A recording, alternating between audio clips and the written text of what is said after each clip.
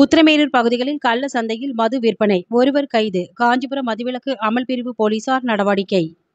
கள்ள சந்தைகளில் சாராய விற்பனையை தடுத்திடும் வகையில் தீவிர கண்காணிப்புகளை மேற்கொள்ள வேண்டும் என மாவட்ட காவல் கண்காணிப்பாளர் சண்முகம் உத்தரவு பிறப்பித்துள்ளார்.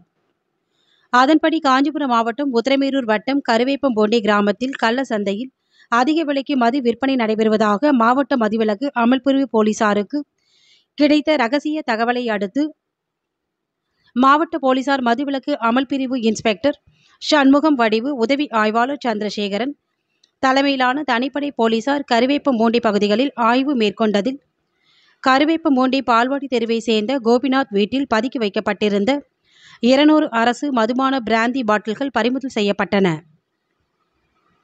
மேலும் கோபிநாத்திடம் விசாரணை மேற்கொண்டதில் தாம்பரம் சென்னை உள்ளிட்ட பகுதிகளில் மலிவு விலையில் கெமிக்கல் கலந்த சாராயம் கொள்முதல் செய்து வந்தது உத்திரமேரூர் பகுதிகளில் அதிக விலைக்கு விற்பனை செய்வதும் தெரியவந்தது.